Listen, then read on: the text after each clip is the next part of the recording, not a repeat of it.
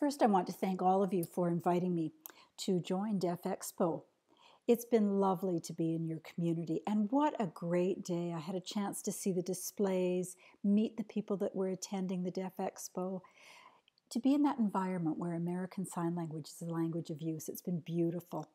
And thank you so much, Greg, for your inspiring uh, presentation. I used to live in the Northwest Territories and I worked in a number of areas in the Northwest Territories in Nunavut. And as I was listening to you uh, talk this morning, I was just thinking, yes, that's exactly the situation there. So thank you for that. I'd also like to thank the interpreters who are working today. And I also think it's important that we also recognize the deaf community. So I always like to acknowledge the community that I was raised in, so to speak. I grew up in the deaf community in Edmonton. Edmonton was my first deaf community, and I'd like to thank them.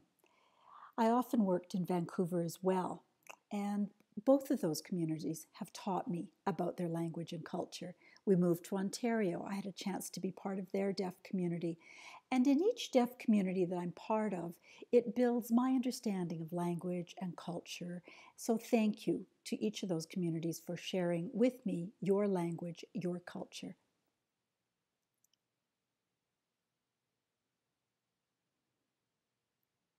So maybe you're thinking, why is it that someone who's hearing, who's been an interpreter, is going to talk about learning and education? I think it's important to say a little bit about my background. Yes, I am an interpreter. I still interpret, even though I'm old. And I was an elementary school teacher. My first degree is in special education, which means that I've had the experience of directly teaching deaf children and deaf blind children.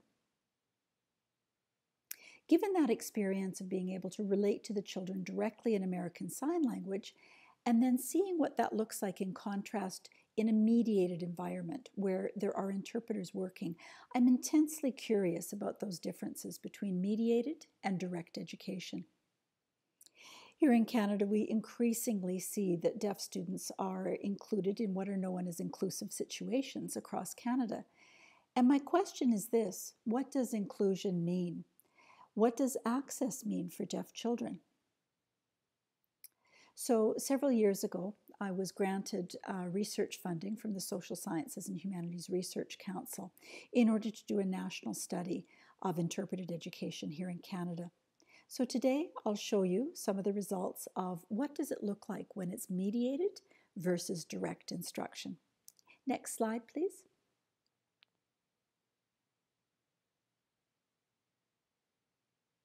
We've got an hour this afternoon, and so it's very challenging to uh, put all of this research into one hour. But just as Greg was talking about how difficult it was to put everything that he could offer in just one hour, I'm going to try my best to give you the highlights. I'd like all of us in the room to think about what is an accessible education. For many schools, they think, well, we've hired an interpreter, that's perfect. But when we think about learning, we think about the social environment of learning. We think about the comprehension and the intellectual aspects of learning. So there's much more to learning than simply hiring an interpreter. The other thing to look at is that if a child has an interpreter, what does that really mean? And what does that look like? Even on the hands of a great interpreter, we still have challenges with the interpreting process. And we've got both great interpreters and interpreters who are less than qualified in my study. I'd also be able to look at learning strategies. And so we're going to talk about all of those things in just one hour.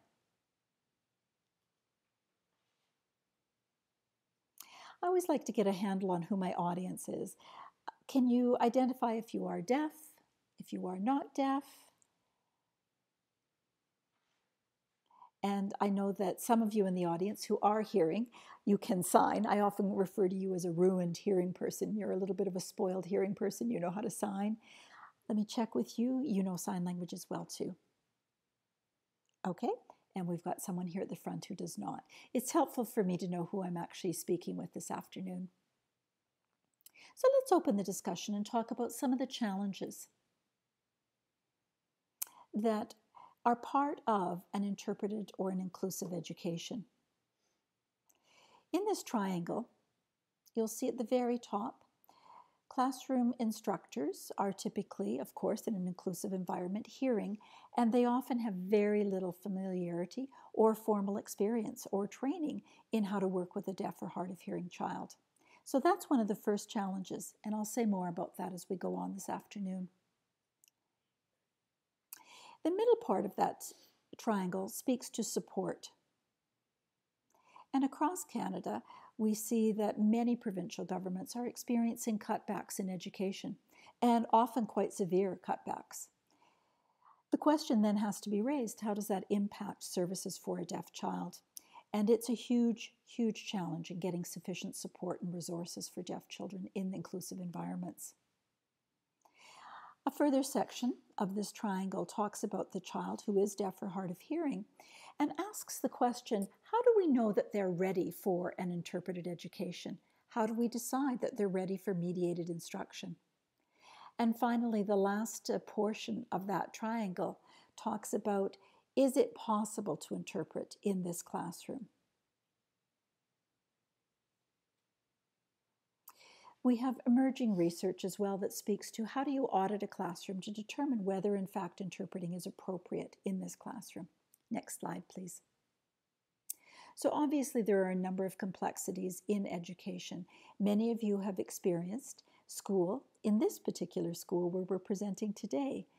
And so maybe the learning was challenging, but you had social connections to other deaf children, you had social connections with teachers, those pieces of education are critically challenging. And in today's child's environment, often when they are placed with an interpreter,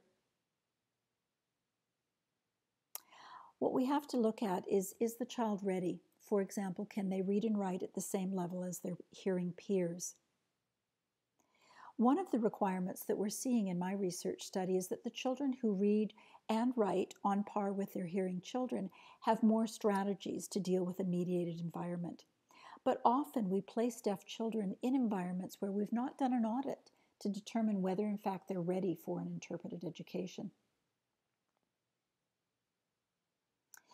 Many children in my particular study have talked about the friendship circles. And they've said that in grade one, grade two, grade three, yes, they had a few friends. Many of them could fingerspell, they could sign a little bit. But in the younger years, the language of play isn't as critical. It's the physical aspects of play that's not necessarily mediated by language. But once we get to about grade three, grade four, what happens with female language circles?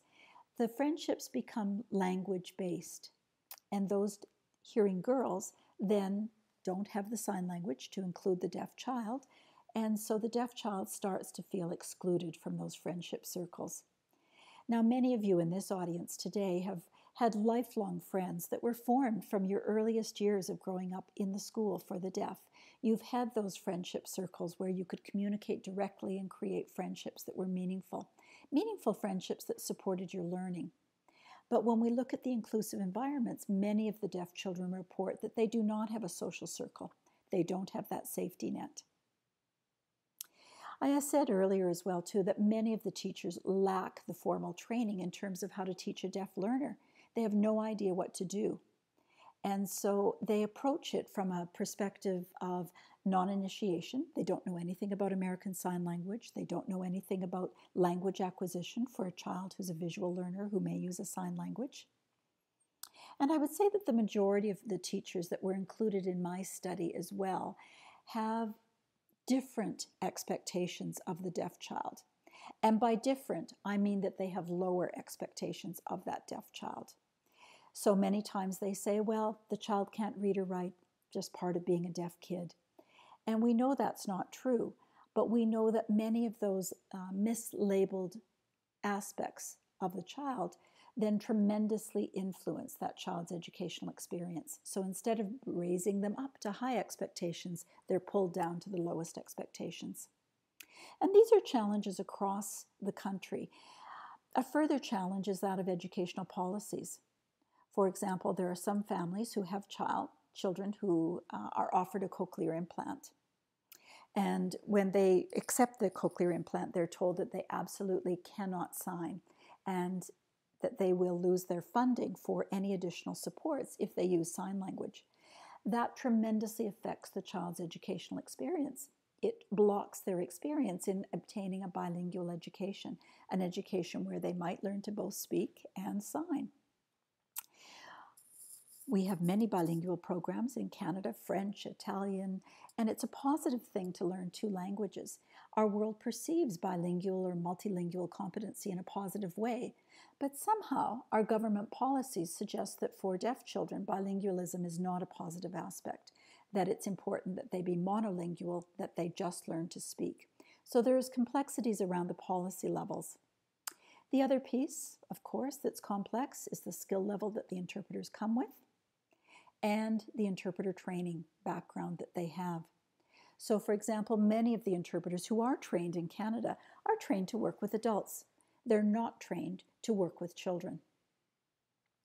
And many of those interpreters, in my study as well too, do not have formal educational backgrounds other than interpreter training. So they don't have, for example, degrees in education. They don't understand pedagogy. They don't understand uh, early language acquisition. Some of you in the audience know exactly what I'm talking about because you are teachers. Teachers modify their language in order to engage learners in many different ways for many different purposes. But many of the interpreters in my study don't recognize that purposeful language or those purposeful strategies used by teachers. Next slide, please.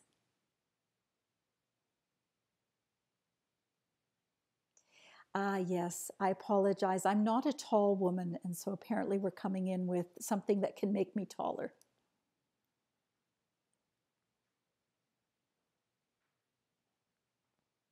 Is that better? Can people see me better now? I know it means a little bit of uh, you looking up now to see me, and I apologize for that. So, as I was saying, there were a number of influences on the deaf child's educational experience, and the majority of schools that I speak with talk about an interpreter means that the child has equal access. It means that they have different access. It doesn't mean that they have equal access, but that's the view of the school, is that an interpreter means equal access. Betsy Winston, Dr. Betsy Winston, is a researcher in the United States who's looked at mediated education and she's written a great deal about the myth of an interpreted education. And when we apply that myth to education, she talks about interpreters as a little bit like the elephant in the room. And the problem is that many of our educational problems start with the interpreter. One of the other problems, often though, is between teachers and principals, parents and interpreters. It's about expectations. So parents will place their student, their child, in a school, and parents will tell me, My school is completely accessible. Well, recently I had an opportunity to visit the EC Drury School for the Deaf in Ontario, where everything is accessible. The environment is accessible, the signaling light systems are accessible, just as we were talking about earlier in the presentation. And so there's the lighting system that provides a warning that it's a lockdown or we have an emergency, and so it's completely accessible. The deaf child doesn't have to rely on a hearing child to get the message of what's going on in the school. But yet the principals tell me absolutely everything's accessible. But I look around and no one in the office can sign to the deaf child. They can't have a direct conversation with the child at all. But from the principal's perception, the child is physically placed, they've got an interpreter, it's accessible. One of the other challenges is that many parents assign an interpreter to the learning environment, but they have no idea what it means to learn language from a child's perspective. So many people believe that the deaf child can learn language through an interpreter, but we don't learn language by watching language. It's one of those myths that teachers hold, that parents hold, that a principal holds that learning language is possible through an interpreter. And it simply is not true. We don't learn language with one language model. One of the other challenges that I've raised on this slide that emerged in the research was that of budget cuts, of course. And eh, we sometimes see this in Canada and in other countries where deafness is talked about as a low incidence. And so a low incidence means that we can't possibly spend that money. That's a very different view than looking at language rights from a human rights perspective. Now, I live in Calgary at the current time, and we have many families who have moved from other countries who have deaf children and have a different cultural background. And again, those cultural backgrounds frame how they view the deaf child. So, for some cultures, they view deafness as a punishment, they view it as they must have sinned, or they want the child to speak in the language so that they can learn the particular religious beliefs of the family. And so, all of those cultural factors have an impact on learning as well.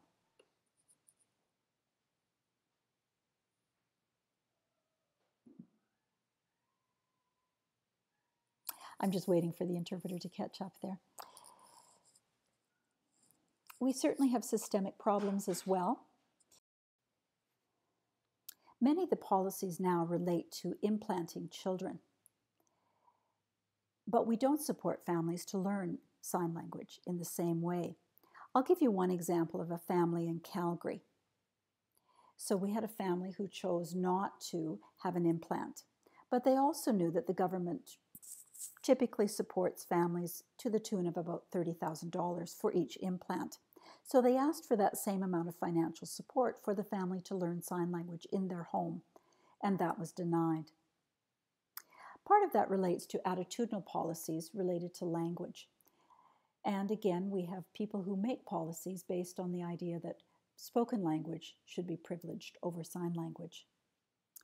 Lastly, I've got systemic uh, problems here. So in the classroom, we've talked about the fact that for many of the children, they don't know what it means to have a deaf classmate.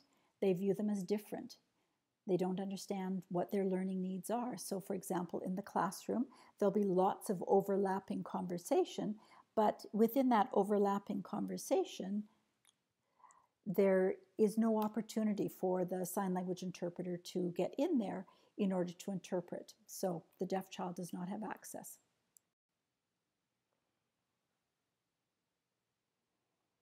So when we think about learning language, I'd like us to turn our attention to for a deaf child and how they learn language.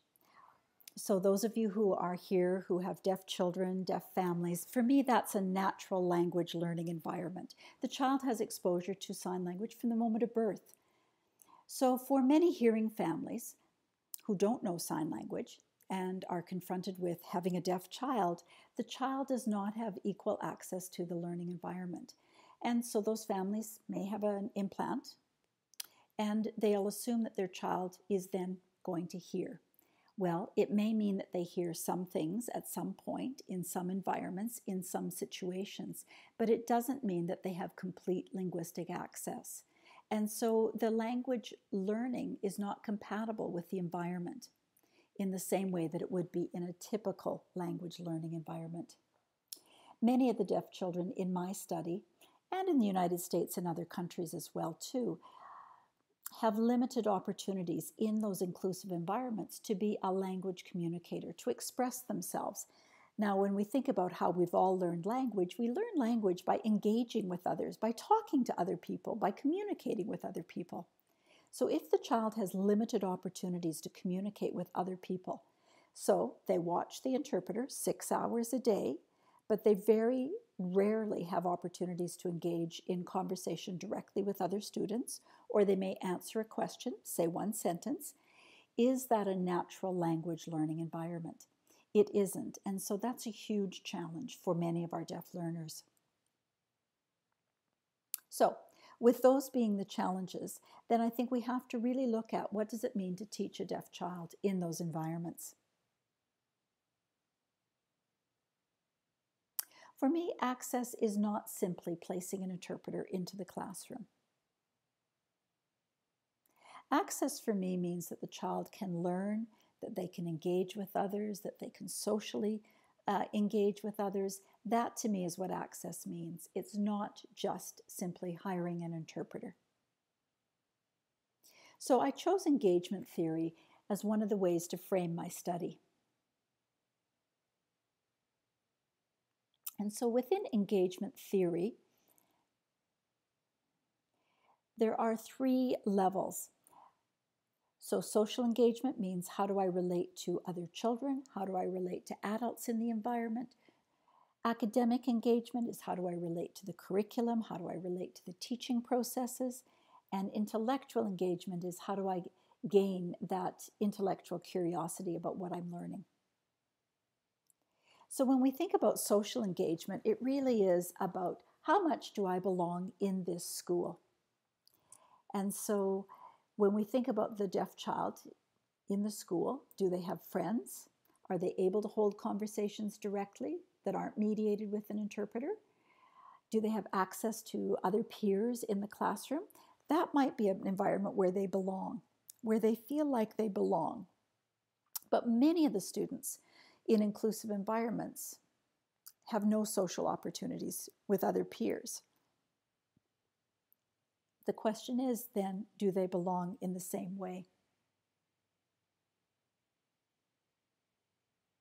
So, given that the interpreter leaves the school at 3:30 and the child may want to engage in extracurricular activities after school but has no communication access, do they belong? That's the question. In terms of academic engagement, that really speaks to how do we ensure that children are moving along and learning the curriculum alongside their hearing peers? So many of the deaf students who come into our classrooms are already behind some of their hearing peers based on those early language experiences. And so teachers often lower the expectations and socially promote students through the curriculum without them really learning the curriculum. That third level of engagement, known as intellectual engagement, refers to that idea that each of us become very curious about what we think. We get curious about learning. We take a stand about this is right or this is wrong. I want to know more about this.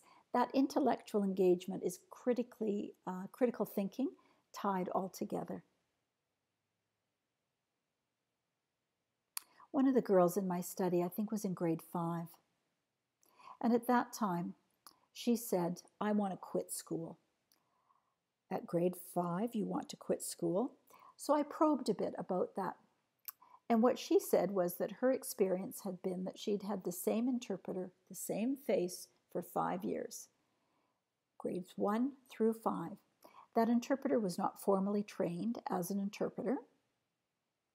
And so the student was getting maybe half of the information based on the ineptitude of the person who was signing.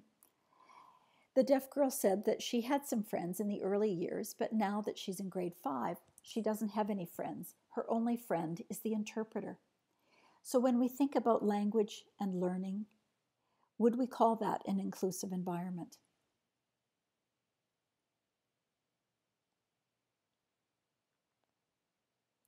Obviously, for me, it's important that students have those three levels of engagement if we're going to call it inclusion. And so, for deaf children, some of them in my study, for example, instead of being an active participant, they are moved to a bystander status, which means that they are simply watching. They're not actively engaged in the learning, they're not actively engaged in responding, they're not actively engaged with their peers they are a bystander. And that is a huge challenge then for learning. I sometimes speak at different schools, and one of the things that I like to emphasize is that if you think that your school is inclusive, I'd like you to think about what does that mean? Because it's sometimes the illusion of inclusion. People look over and they see somebody signing and they think it's inclusive but it's not because the child is not engaged at those three levels that I just spoke about.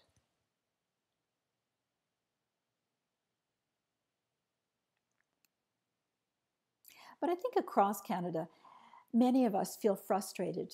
We are advocating for educational change, and I think many of you in this room have advocated for change here in Saskatchewan. And congratulations for the wins that you have had in advancing education. I see that you have a bilingual school education program, And uh, I see the Deaf Crows program, so there are some significant changes here. But across Canada, we see that there is this constant advocating for educational change that doesn't seem to get us different results.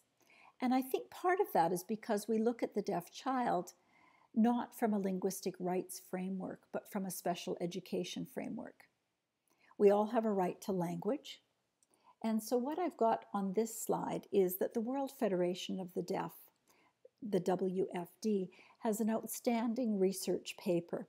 It's evidence based, so research based, and has been co authored by a Canadian researcher, Dr. Kristin Snoddon, who has been involved in the writing of this research brief. And when you look at it, I think it's significant because it is a tool for you and I to use in terms of lobbying for educational change.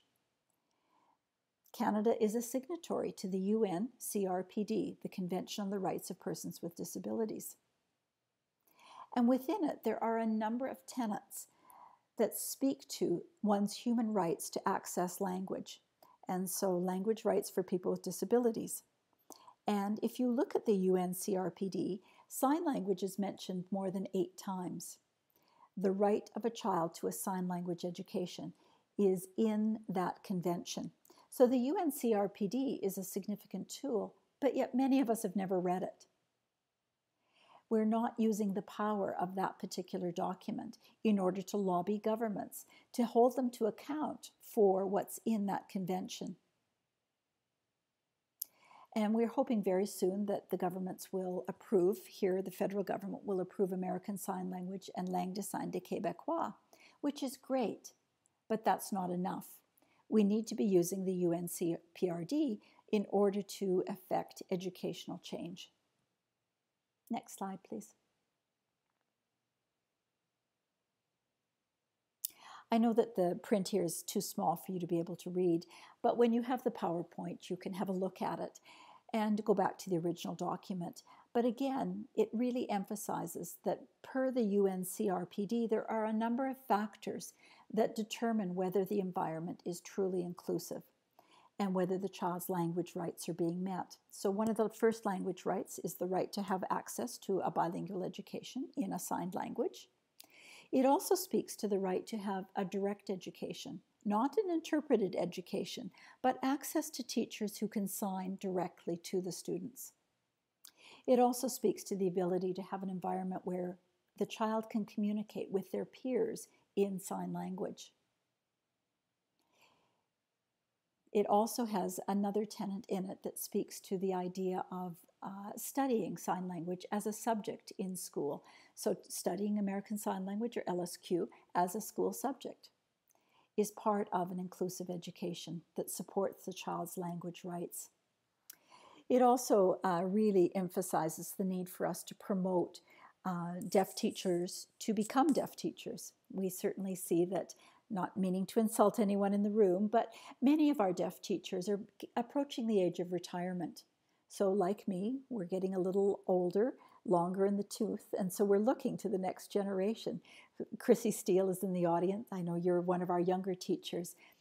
But uh, I spoke with one of the young men in the Deaf Crows group, Alex, who's interested in becoming a deaf teacher in the future. Fabulous. We need more deaf teachers. And so as well, it also addresses the idea of supporting families in learning sign language.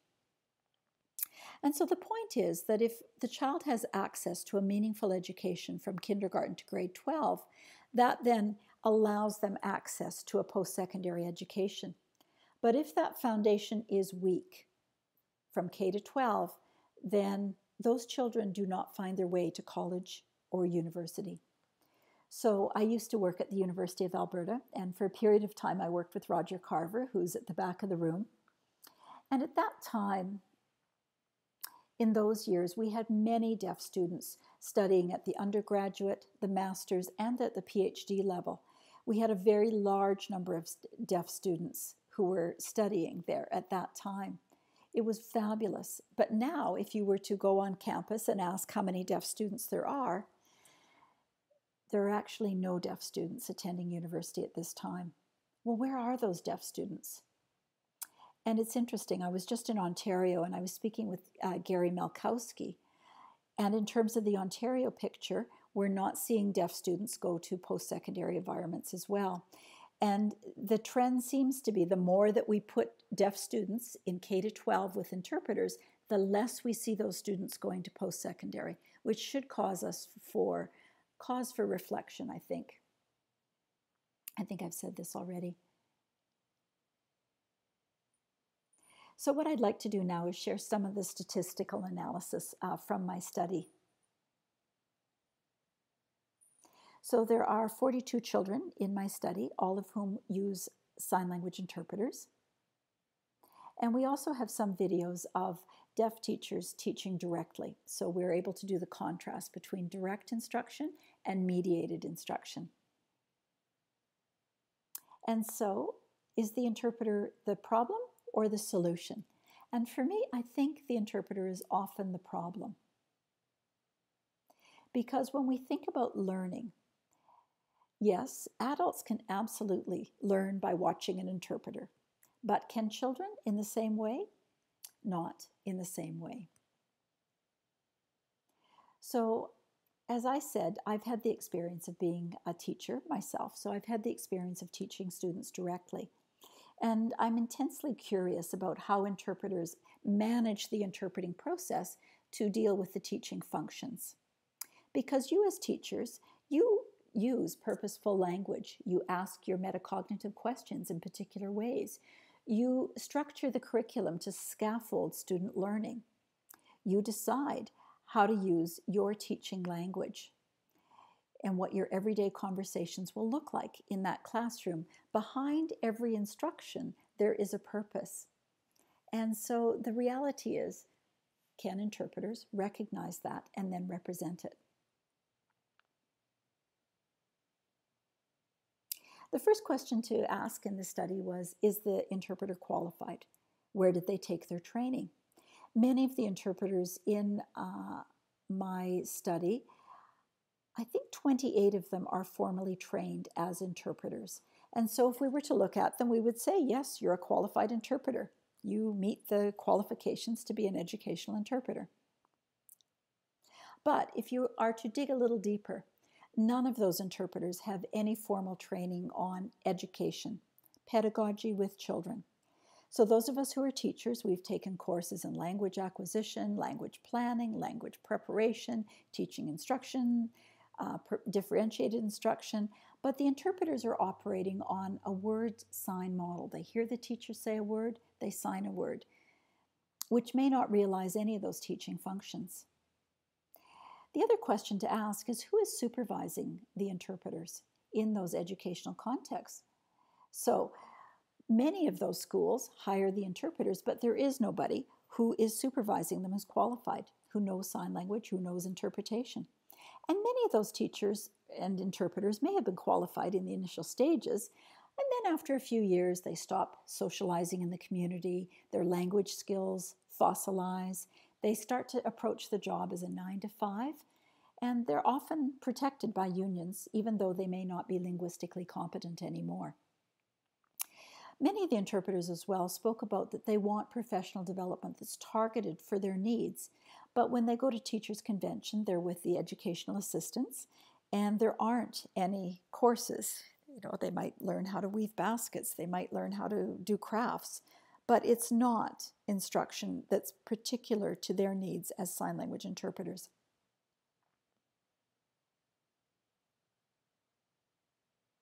people who are not qualified but working as interpreters. For example, there are some educational assistants in rural environments that are working. And some of them have had only 60 hours of ASL instruction. So they might have taken sign language from John Warren, for example, or Chrissy Steele.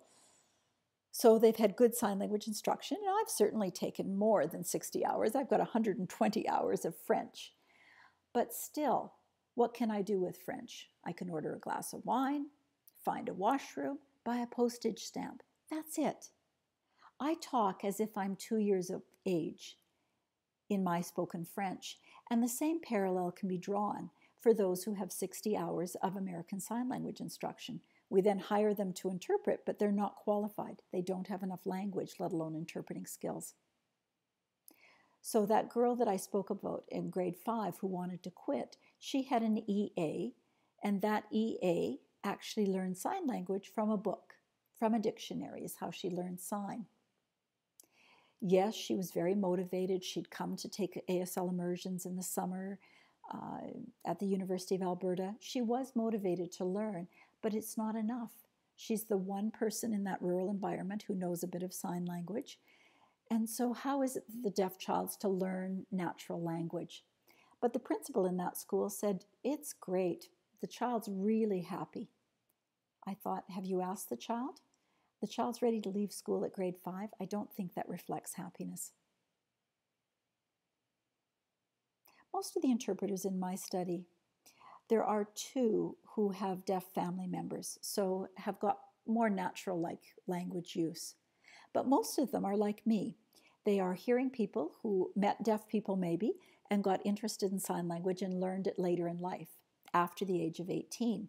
So, for those of us who did that, we are L2 learners of American Sign Language, which means that they are not good language models in the classroom. They're not. So, I will always have an accent in my use of American Sign Language as opposed to Greg DeRoche, who spoke earlier, who is a very fluent natural language user. As a hearing person, I'm very fluent in American Sign Language. I can certainly use it in a teaching environment and in a social environment, but I will always have an accent.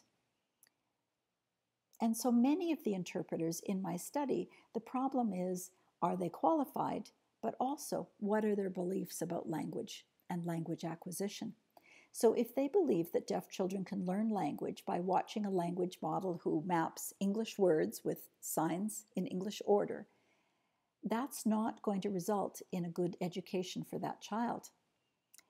Signing Exact English has been in use for some 35 years, but we still don't have evidence that it's done anything to support the learning of English language literacy skills for deaf children. That transmission model reflects a belief when we speak about transmission model, it means that I'm just hearing a word and I'm signing a word, but it doesn't mean that the child's going to learn language from that model. For this particular study, I chose six language functions. There are many more that I could have chosen from, but I chose six common teaching functions. And these are ways that teachers use language asking metacognitive questions designed to promote critical thinking, Secondly, the use of scaffolding techniques in terms of how do we, as teachers, design our instructions so that we bring students along based on what they know while introducing new knowledge to them. How do teachers as well reconceptualize so they might know that a student's not understanding something and they'll re say it in another way? Teachers also use sequencing strategies in order to uh, perform in the classroom. And so they will sequence instructions in ways that break it down for the learner. Peer teaching is also a really important part of a classroom dialogue. So students teach each other through their own language use. And so that's an important part of the classroom. And so the peer instruction has to be critically analyzed in terms of how do kids learn from each other? And then what are interpreters doing that manage those strategies? And so you as teachers as well know how to use feedback that can positively encourage somebody or that can correct them and bring them back on track. And so that feedback can keep students engaged in the learning. So I took those six common teaching functions and it doesn't matter whether teachers are speaking in English, speaking in French, speaking in American Sign Language. These are functions that are all used by good teachers. And so then I analyzed the videotapes uh, using this sociolinguistic frame. Next uh, slide. So, as I said earlier, they're qualified trained interpreters in this study, but look at the percentages. So the first column uh, shows what the teaching function was. The second column shows a percentage based on accuracy and effectiveness, and the third column indicates ineffective or inaccurate work. Then look at the percentages. So, in terms of the trained interpreters, 88% of the time we're still missing the metacognitive questions, which is to say that the interpreters are either not recognizing them or they're sometimes substituting a lower ordered question. So instead of asking a why question, which is to, designed to promote critical thinking, they'll change the question to a what question, which is a very different question. It doesn't ask them why something happens, it asks them what happens, which interferes with the child's development of critical thinking. So when we see that it's inaccurate or wrong, that amount of time, that's a huge problem. Scaffolding, we see as well similar percentages. 86% of the time, it's not handled well. You're not seeing the scaffolding because of the quick transmission, sign after sign after sign, but it's not visually broken down in the same way that you hear the pauses in spoken English that scaffold the meaning. Peer discussions, so the interpreter in the small group discussions, those did not go well for the majority of interpreters because what we saw is that the hearing students forget that the deaf student is part of the group. So they're all talking at the same time. They're all talking at the same time. The interpreter basically just gives up because it cannot be followed. So they start throwing in snippets of signs, but it's just signs. It doesn't mean anything for the deaf student, and it certainly doesn't promote inclusion. Then the idea that teachers reconceptualize or explain things in different ways. So again, we see a very high percentage of the time where that's not working. It's not present. When I interviewed the interpreters after, many of them said, Well, I don't have time to get all of that in. Plus, it felt like repetition, so I just eliminated it. That's not what we want interpreters to do because that extra explanation may be the explanation that's needed for that child at a given moment. And that may be the time that they actually understand what the teacher's talking about. And lastly, the area of feedback again, a consistent problem where the interpreters are working simultaneously. So they're working very quickly to represent the English into sign language, and they're missing the feedback. But the feedback, because of their processing time, they've missed it. And so when I asked interpreters about that as well too, they said, "Well, it's my catch-up time. I didn't get it in."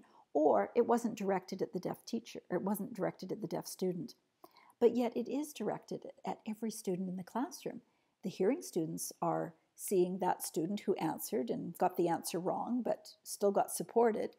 So that helps students learn how to navigate the, the classroom. So if the deaf student has no access to that feedback, there are opportunities to feel inspired or to feel engaged or to connect isn't there. The language functions are crucial. And we have two students uh, in this who were not particularly part of my study, but happened to be in the class while I was videotaping one of the interpreters. One of those students has a cochlear implant. It was in a grade eight class and the other was hard of hearing. So I was focused on the deaf student who was using the sign language interpreter. But I could see that the two other students were coming out of their seats and watching the interpreter. They would lean out into the aisle and watch the interpreter. And they were doing that because it gave them access to the uh, language of instruction. Because they know sign language, and the child who is coded to have a sign language interpreter has an interpreter in the classroom, they could take advantage of that. The child with the cochlear implant and the child who's hard of hearing said that the classroom is so noisy that they can't hear anything. So by watching the interpreter, it gave them more complete access. So for children who are hard of hearing and who have cochlear implants, that visual support can be just so, so important. And they have a language right as well in that classroom.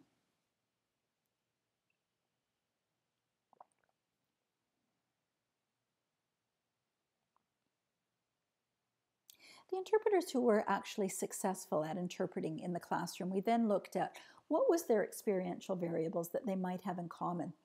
Two of them were nationally certified by AVLIC, holding a certificate of interpretation. Two of them had deaf family members, so had natural language acquisition from a younger age. And all of them who were successful also still had a relationship in terms of socializing in the adult deaf community, which means that they were seeing language as it evolves and then going back to the classroom and applying that language use with their students. And so those who are very tied to a word sign model don't have that language access. They don't see the natural language use. Students don't get natural language use, they don't understand what's going on in the classroom.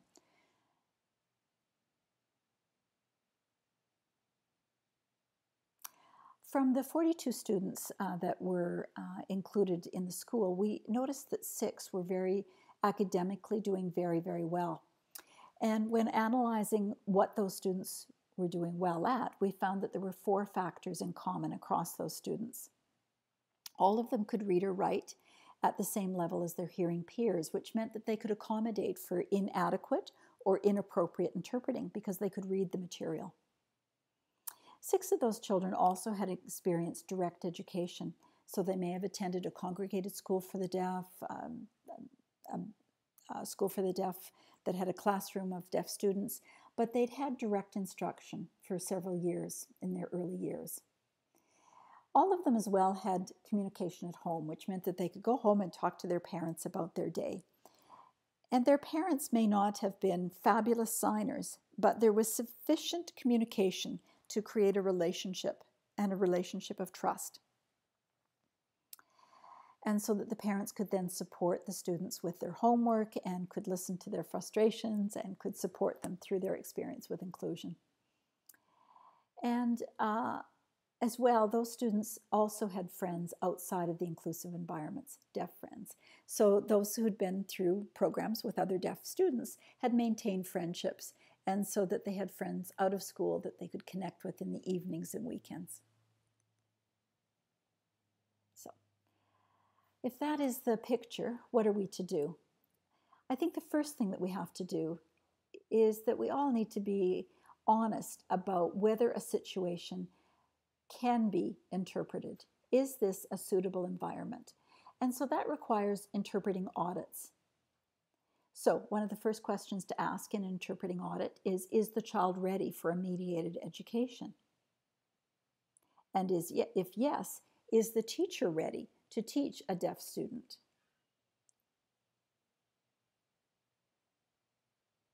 So many of us assume that, again, we just hire the interpreter and it means that absolutely everything can be interpreted. And it's simply untrue. It's not possible to interpret absolutely everything in every situation. I'll give you an example from one of the schools. The teacher had a very, very strong Russian accent, very strong accent, which meant that the interpreters were really struggling to understand the teacher. When the interpreter does not understand, they cannot interpret. But the high school said, well, just do your best. Even though it's a difficult environment, do your best. Is that access? I think not. Now, sometimes things can be interpreted if we modify the situation. So, for example, if teachers are, uh, we had one teacher who was really unaware of how to teach uh, deaf students but was able to modify the classroom to ask students to raise their hands, which allowed the deaf student a chance to look over and see who was answering the question before watching the interpreter. But there are other teachers who wouldn't modify practice. So they would write on the board while talking all the time, which meant that the child either had to look at the board or look at the interpreter, but they couldn't do both. So if teachers are willing to modify their practice, it may be an environment that can be interpreted but some environments require tremendous change. So, one of the students in my uh, class uh, studied at a gifted and talented program. And in that classroom, for me, as I looked around in that environment, it required a great deal of modification in order for it to be accessible. And the reason for that is that there were 17 gifted and talented students, and all of them really wanted to talk at the same time. And all of them had very, very clever things to say. And all of them were reading at such an advanced level and reading such diverse things that they were bringing those materials into the classroom. The teacher was using a variety of materials, some of them movies without captions, so there were a number of modifications required in order for the student to have what we would say is equal access. And other times it's simply impossible to interpret. And so by doing those audits of the classroom, we have to be able to be able to check all of those boxes in order to determine whether it's appropriate for interpretation. Now, have a look at this fabulous t-shirt. I just love what's happening here in Saskatchewan. And again, this is another way of where we have modified or reformed education. So, what I see in that is Joanne Weber is teaching through an arts based or drama based instruction, but teaching all of the curriculum to those learners. And those are learners who are learning to think critically, acquiring language, using language with other students who use sign language. So they're acquiring all of it through an arts based approach. So well done, Joanne Weber in Saskatchewan.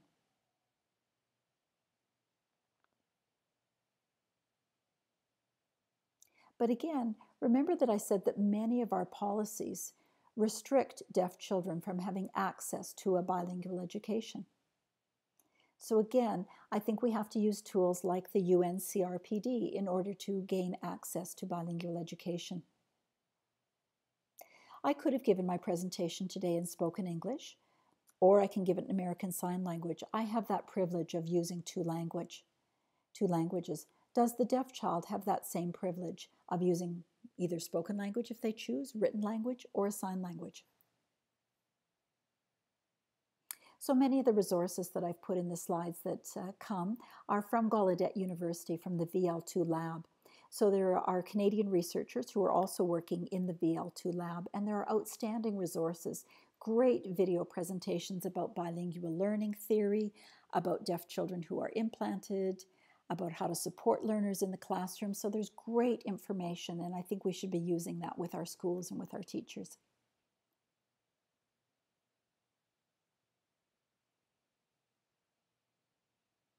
We also have research from other countries that shows children with cochlear implants who use a signed language have increased cognitive abilities, increased language skills, increased critical thinking skills, and that ability to learn. And so we need to be able to know that research and use it in our Canadian situations.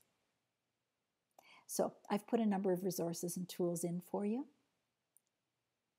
These are some ideas about what good teachers with deaf children can do to modify their instructional strategies in order to accommodate a deaf learner in the classroom. So I said that we have samples of teachers teaching directly in American Sign Language, and we have samples on video of interpreted education. And when I analyze the direct education, there are some very different linguistic strategies that the teachers are using. And one of them is about pacing and making students uh, have an accessible environment based on an environment where the information is paced, where all eyes are looking at the teacher at one time, where they're managing the turn taking. And so, where they're providing that enriched uh, background or context information. And so, the pace is really important because it's tied to the cognitive load or the cognitive processing the enriched instruction, so being able to provide that background information. So many of the teachers who are deaf intuitively know the gaps that a child brings when they come to school. Many of our deaf children come with significant educational gaps and they know how to fill them in. And so they know how to reduce the dual demands of looking in two different places at the same time. And so teachers who are deaf know how to manage those dual task demands. One of the funny stories that I had uh, happen in, in the study is that I observed a teacher who was doing a science experiment in one of the classrooms. And on that particular day, the interpreter was a little bit behind. And so they managed to get the instructions for the first step, the second step, and the third step correct. And then they introduced the fifth or sixth step into the fourth place, which meant that the student got very different instructions than their hearing peers. And of course, their experiment sort of exploded. And uh, the teacher said, I, I did what I was supposed to do, but the interpreter had misplaced that sequence. So, eyes on the interpreter, eyes on other students, eyes for reading the board. Knowing how to manage uh, the eye gaze is an important strategy for teachers to learn as well too.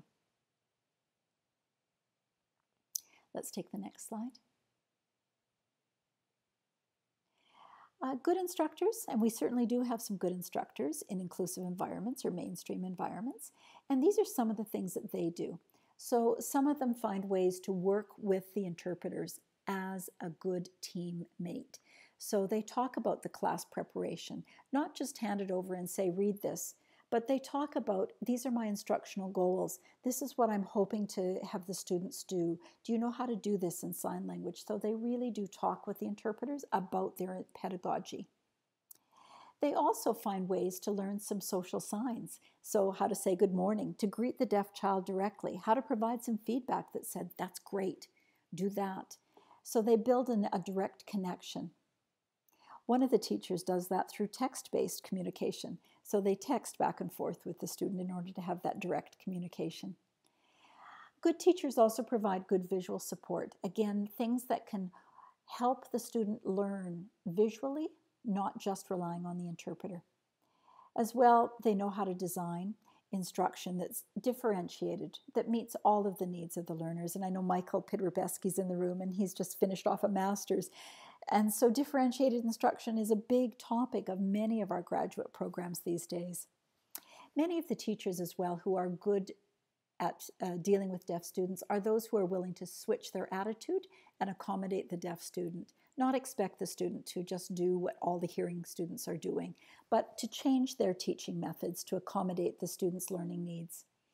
And so there are some things that it's really difficult or it's impossible to modify because you've got so many students in the classroom.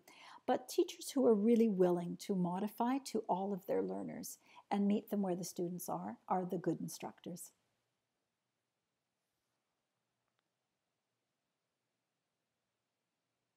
Many of you in this room know that uh, what good deaf teachers do is what's highlighted on this slide. So obviously they're good language models, that they know how to engage students. We've got some good video samples of uh, teachers who are deaf who are using their dominant hand, their right hand, to teach the content and using their left hand to provide feedback or to guide students to keep them engaged. That two handed approach to language use in a purposeful teaching way is not something that interpreters know how to do. As well, deaf teachers wait longer. So they allow the deaf student that visual processing time. They're visually processing a visual language before they expect a response, as opposed to the interpreters are working at the same language pace as the hearing students, which doesn't allow the student to process it and then respond. One of the schools in my study, which I think is interesting as well too, um, has an interesting process. So, uh, yes, Chrissy, you're from Alberta School for the Deaf. So they are serving a student in a rural environment in in rural Alberta, where they're trying to figure out what portion of the day can be handled through direct instruction, and what portion can be handled with an interpreter. And so I think they're using Skype or some video conferencing process for math and language arts so that that student can see other deaf students, that they can see a teacher teaching directly in sign language. And so they have a few hours of the day, three hours of the day, that's direct instruction, and another three hours that's with an interpreter, so to speak. So it may not be ideal, but it is an option. And we're certainly seeing more and more of the remote interpreting happen because schools have such a shortage of interpreters these days. But asking students to watch an interpreter on a video screen is not the same as being actively engaged in the classroom. I think it's important as well, lastly, to talk about having a deaf centered curriculum. Deaf students need to see themselves reflected in the instruction. Here you see a list.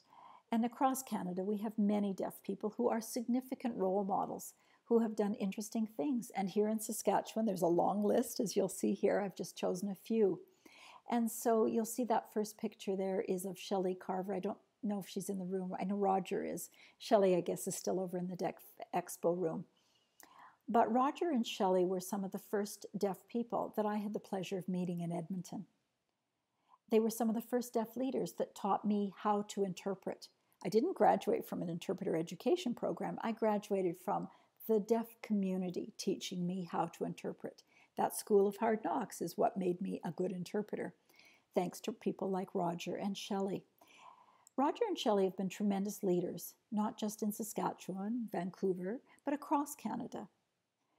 And I think deaf children need to know those stories. They need to know the ways that deaf people have contributed to the community, just as Greg was talking about history this morning. When deaf children can see a deaf historian, it can spark that interest of, I could also be a deaf teacher, or I could be a historian. Could you go back to the previous slide, please? Burton Bird, yes, you're in the room as well, too. And so uh, Burton is a great role model for our deaf children to learn about because deaf kids get to see a chance to see a First Nations dancer, hoop dancer. Teachers, we've got people like Leslie Joe uh, in Saskatchewan. Yes, right there. John Warren, absolutely outstanding videographer, um, did the bilingual books that I saw in the Deaf Expo room filming today. Maybe Allard, yes, not in the room, but uh, Allard Thomas, one of our elders. He taught for many years through the School for the Deaf. And so, as an older role model, he has stories that are important to pass on to the, our deaf children in this current generation. Many deaf kids see oh, deaf people can do these things. But there is also a new face of deaf leadership. So this woman is a deaf doctor. She is Canada's first deaf doctor. She's also of First Nations heritage. And so I think it's important that our deaf kids realize that they can become doctors. They shouldn't have messages that say it's impossible. Anything's possible. And we now have two deaf doctors, one in Manitoba, one in British Columbia. Yes, I think, uh, Sue, you've hosted the Dragonfly Camp here in Saskatchewan. You've had a deaf youth camp. And so those camps are just so, so important because it's a chance for children from mainstream environments, inclusive environments, to come and be with other deaf children. A chance for them to have that experience and build that identity. I know our time is running uh, out here this afternoon. So, in the PowerPoint, when you have a look at it, there's a number of different resources, and we'll just touch on a couple as we uh, wrap this up today. This is a resource at the University of Alberta. They have a number of video tutorials. They're in spoken English and in American Sign Language, designed for teachers who are working in inclusive environments. So, they provide information to teachers that I think can be helpful. There's also video tutorials for those who are teaching uh, oral deaf students with cochlear implants. This is a literacy curriculum. Uh, many teachers are at a loss in terms of curriculum instruction for deaf learners, and so this is a literacy inst uh, instructional tool. Uh, another resource on uh, helpful apps. These are all about bilingual books, and again, I saw a sample of a fabulous bilingual book done here in Saskatchewan. And John Warren, I think you filmed it. It's absolutely beautiful. What a great school project. And bilingual books can be just such a crucial thing for language acquisition. And we see them in use around the world. I chose this resource from British Columbia because it's a very strong parents organization. And that particular organization was founded by none other than Roger Carver again. And so the family uh, network, family network for deaf children in British Columbia, is a great resource for parents. You can look at their website, you can uh, join some of their programs. They have great uh, resources. And last, What I would want to say in summary is that if we want children to have a solid, good quality education for deaf, hard of hearing, children with cochlear implants, children who sign, we need to look at language acquisition environments. Children have to have opportunities to use language as communicators. They have to be able to communicate with their peers, with their adults in that environment in order to be able to learn language. And for deaf children, a good education also means having social opportunities, having a social network, having friendships. We also need to pay attention to those three levels of engagement social, academic, and intellectual engagement. When we can check all three of those boxes, we might be able to say we've got a good inclusive education. When we're not checking those boxes, we're not getting a full education.